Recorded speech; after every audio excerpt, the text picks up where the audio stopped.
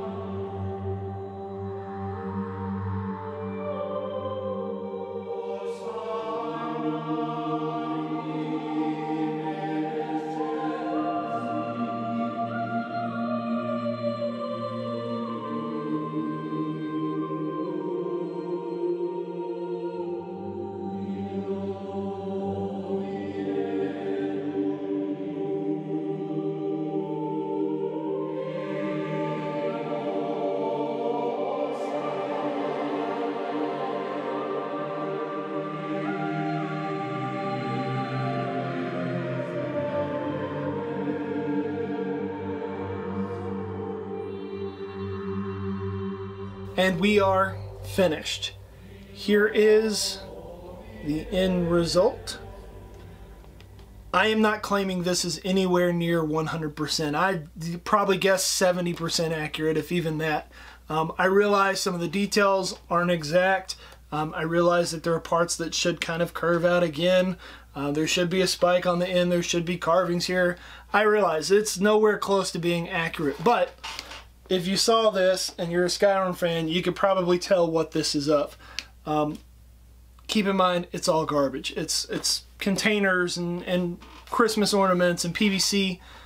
I really like the inside of mine. I think it turned out pretty awesome.